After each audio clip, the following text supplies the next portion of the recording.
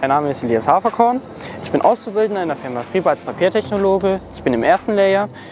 In der Firma Friba hast du viele unterschiedliche Aufgaben zu erledigen. Die riesige Papiermaschine beeindruckt mich, dass man aus so einer riesigen Maschine eine ganz kleine winzige Toilettenrolle produziert und dass ich dann auch noch ein ganz großer Teil davon bin.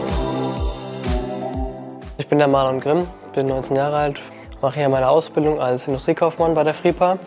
Wir Azubis bekommen viele verschiedene Aufgaben anvertraut, die wir alle selbstständig erarbeiten können.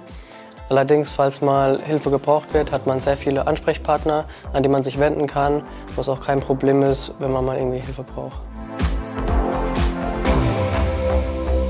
Hallo, ich bin Marlon, ich bin 17 Jahre alt und mache eine Ausbildung zum Maschinen- und Anlagenführer. Ich bin im ersten Ausbildungsjahr und die Ausbildung macht mir sehr viel Spaß. Und da die Ausbildung sehr flexibel ist, hohe Aufstiegsmöglichkeiten hat, zum Beispiel man kann hier seinen Meister machen.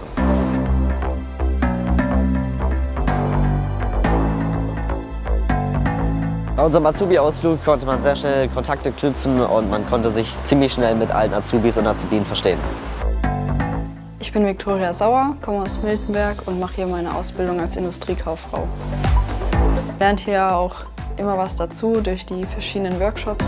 Man kann sich als Azubi auch sehr gut hier beteiligen. Ja, zum Beispiel in der JAV, der Jugendauszubildendenvertretung. Hier hat man die Möglichkeit, schon als Azubi seine eigenen Ideen mit einzubringen. Deswegen fühlt man sich hier auch echt gut aufgehoben und betreut.